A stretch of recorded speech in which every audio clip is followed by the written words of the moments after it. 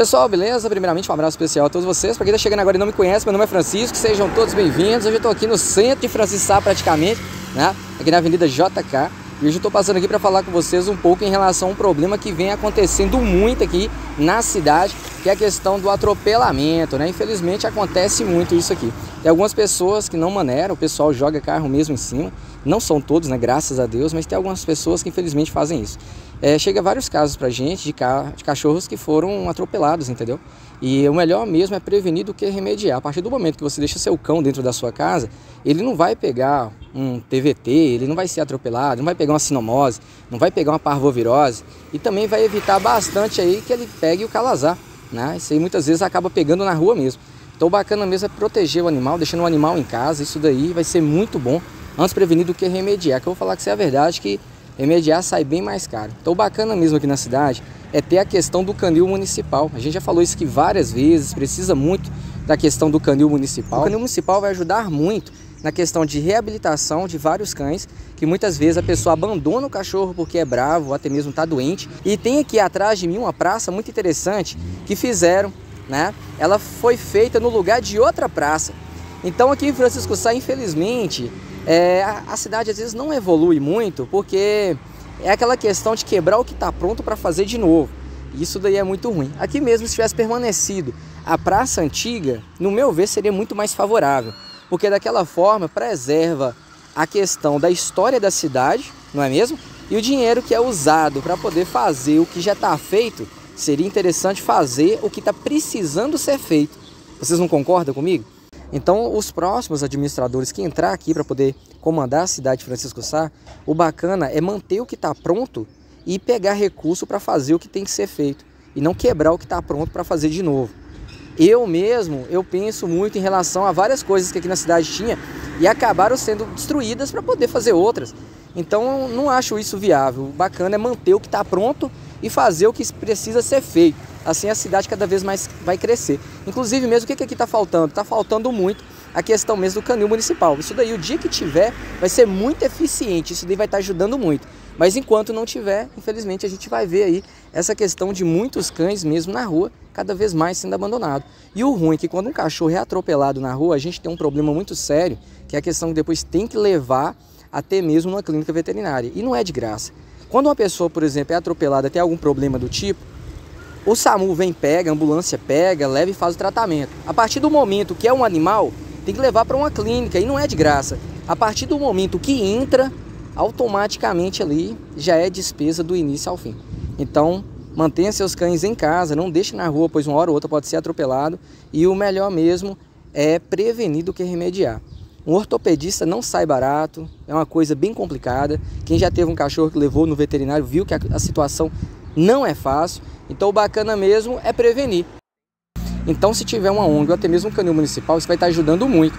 Inclusive não é só pegar os cachorros que estão tá na rua, inclusive cães também que tem problema, até mesmo comportamental. A partir do momento que o cachorro tem problema comportamental, às vezes acontece o que? Às vezes a pessoa quer abandonar o cachorro por causa desse problema.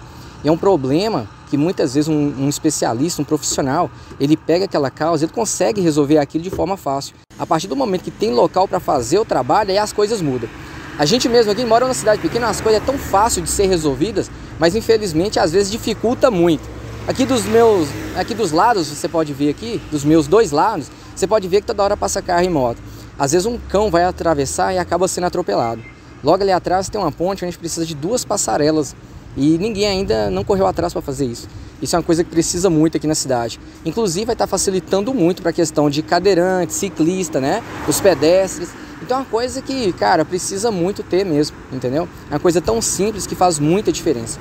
Então espero você aí que está acompanhando esse vídeo, você que é aqui de Francisco Sá, que possa dar uma força né, em relação, vota na gente aí, 55007. Por quê? Porque assim eu vou poder correr atrás de vários recursos que Francisco Sá está precisando. Precisar um lugar bom, um lugar bacana, uma cidade pequena, onde que cada um juntando aí, né, com o conhecimento de um e de outro, dá para poder ir bem adiante. Inclusive mesmo a questão dos cães na rua, esse problema, gente, infelizmente são devido a algumas pessoas que acabam abandonando mesmo, solta na rua. Inclusive aqui na cidade não tem clínica veterinária. Quando um cão adoece ou um gato adoece, tem que levar em Montes Claros. Então tem que transportar daqui para Montes Claros e ainda, além disso, cara, muitas vezes tem que deixar internado. E a diária varia de 100 reais a 250 reais. Muitas vezes o cachorro tem um problema de saúde que é transmitido através de um mosquito, que é o mosquito palha, transmissor mesmo da leishmaniose, conhecido mais como calazar. E além do mais, tem outro problema muito importante também, que é a questão da babésia, a questão também da erlíquia, que é tudo transmitido através do carrapato. Então são coisas tão simples que faz muita diferença. A partir do momento que a pessoa tem conhecimento, ele vai prevenir.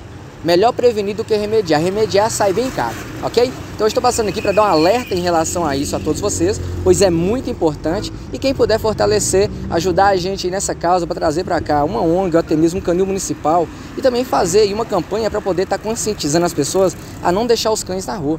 Porque a partir do momento que deixa na rua, para acontecer um acidente é muito fácil, tá certo? Então fortalece a gente aí, quem puder dar uma força, vota na gente aí, 55007, beleza? Conto com você e que Deus abençoe. Tamo junto!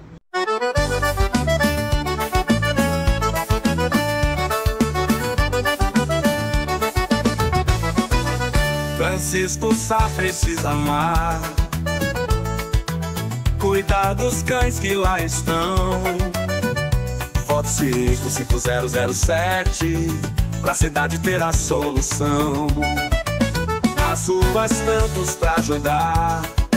Vamos juntos trabalhar. Cada cão merece um lar E a gente pode transformar. Cães Brasil no YouTube você vê. Foto 55007 para crer. Melhorar Francisco Sá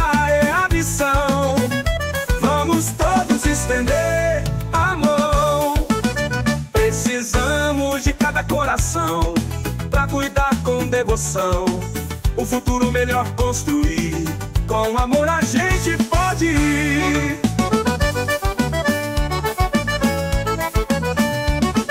Cães Brasil no YouTube você vê. Vote 55007 para ter. Melhorar Francisco é a missão.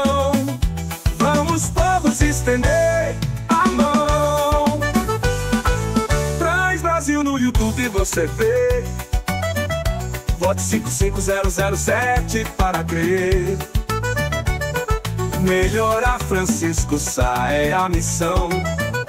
Vamos todos estender a mão. Precisamos de cada coração pra cuidar com devoção. Um futuro melhor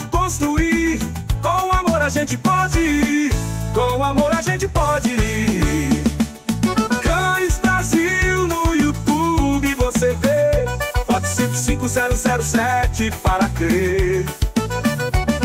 Melhorar Francisco Sala é a missão. Vamos todos estender a mão. Juntos pela mesma causa. Cães felizes ao nosso lado.